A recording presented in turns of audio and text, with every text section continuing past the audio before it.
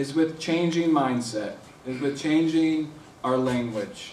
Um, I want you to consider again the microcosm of Over the Rhine. A lot of times you have two different groups that now that venture into Over the Rhine. You have the group, the maybe liberal, maybe conservative group that comes in and says, hey, we're going to stand on the corner, we're going to pass out food today, we're going to pass out coats today, we're going to do all of these things today uh, because these poor souls in Over the Rhine need it. And then you have the other group that comes in and says, predominantly as a smokescreen, like I said earlier, but says, we're going to bring in people that have created businesses and know how to do it, and then everybody else will learn from them, learn how to live. And to me, both sides create a problem because both sides say that this group of people is either less than me, so I need to help them in some way, I need to teach them in some way, or I need to take over their neighborhood because they can't run it themselves. Or we say, and it's not very different from saying, uh, I don't want these folks in my neighborhood because they don't know how to run a neighborhood. They're going to drag it down. They're going to steal from me. They're going to do all of these things. It, it is all the same conversation. And I believe the way we begin to change it is to realize that, hey, every human has basic needs. We all, we all have the same, same general desires. And, uh, and we get, rid of this fear of each other. We get rid of this idea that I can make your life better simply because who, who you are and who I am. Um, I think that's the start. I just want to add one compliment to that. The um, changing one's mindset, changing one's social consciousness, consciousness, uh, changing one's conscience. Um, these are good things. I agree with that, but but that's very hard to do. What this means, I think, if social being actually determines social consciousness, what you have to do is get yourself into a place. You have to join something. You have to get yourself into a place where these kinds of ideas are actually nurtured. How about the revolutionary ideas? Revolutionary ideas of empathy. One of the things I learned at the Over the Rhine Community Housing fundraiser that was just a few weeks ago, where poets were uh, giving a presentation, they said something that was extremely powerful and hit me right between the eyes. They said, seek out seek out those most oppressed, those most exploited, so that you may learn how to live. I mean, are we not our brother's keeper? Um, do we think about uh, sharing wealth so that all can have a can have a piece of the pie? Uh, apparently, we don't. Um, this is a totally driven kind of society, um, but you know, so this is why I say revolutionary idea about love one another and our, I am my brother's keeper. You know, these are values and ideas that are nurtured in certain places, by the way. They are nurtured in certain organizations. This is my attraction to the People's Movement. I'm, I'm attracted by those values that are developed in that context. To ensure that your questions are valuable not only to the audience, but also to the video recording, if you'll move to either side of the aisle and we'll go in alternate order. So we'll start with Emily Houh on the left-hand side and then come back here.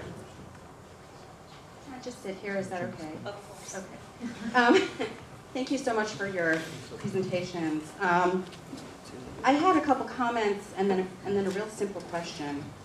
Um, I get my first comment is it's been really interesting, um, and just to, you know, in the interest of full disclosure, I do work on race and gender and law. So it, it's been really interesting to sit here listening to you guys, you all, talking and to hear, to not hear sort of explicit references to race a couple times, um, but not very explicit references to, to, to race and interconnectivity of race and class as real transient social stratification problem. Um, and I, you know, I, I don't mean to over-reduce to race, just as I don't think we should over-reduce to class, but it's just been something I've noticed. Um, the second remark is one about, um, I've been starting to look at poverty just a little bit in my own scholarship, and I'm sure that you guys have looked at it pretty extensively. But um, you know, I think one of the really huge problems that perhaps we can't address in, in this today is the issue of poverty in general and sort of what we want to do about it.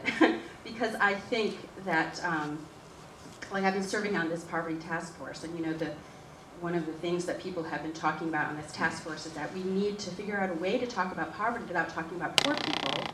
Because, you know, nobody really wants to talk about poor people, and so we've just got to frame it as, you know, it's about jobs, or it's about this, or it's about that. And to me, that's just, it doesn't make any sense to me to kind of talk about getting rid of poverty without talking about the poor and sort of why our, our economic system depends on poverty, um, and, or at least an impoverished class. And then, um, so those were just two comments, but, um, and there's so many other things that are involved, like the war on drugs and all of that kind of thing. But um, I'm actually wondering if there are any examples of neighborhoods in Cincinnati that are functional mixed, economically mixed. Thank you.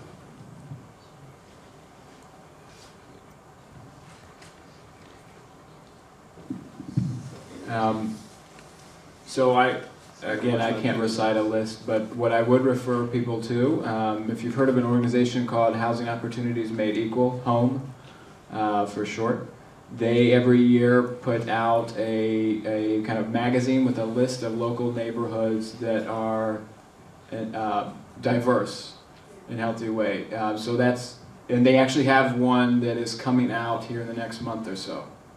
Um, I would, I would definitely refer people there and to their website. Just Google Housing Opportunities Made Equal Cincinnati.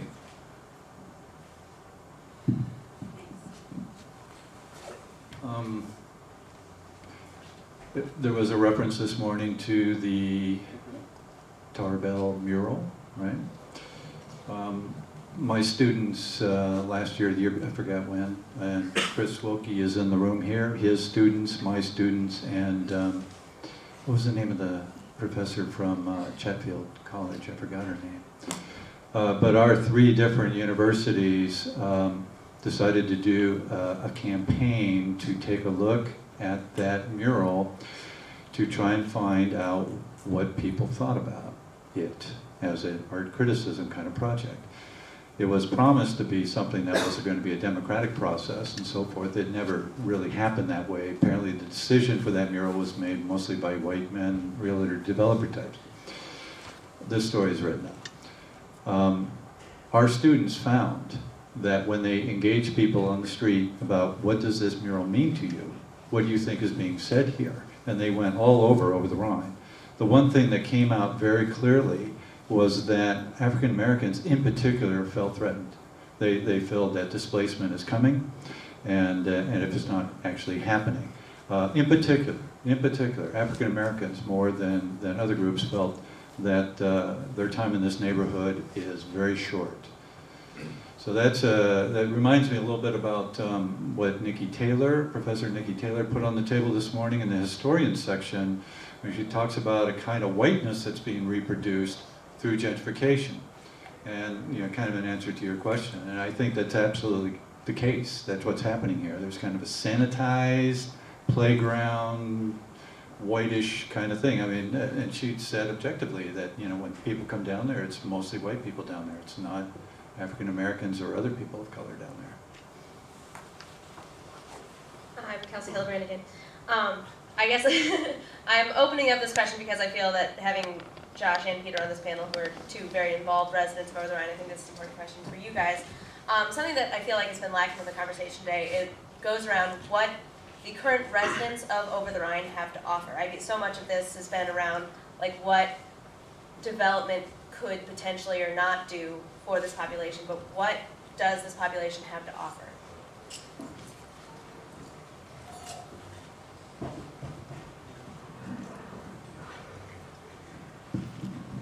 It's a pretty general question, have to offer in terms of skills. Is that what you're asking?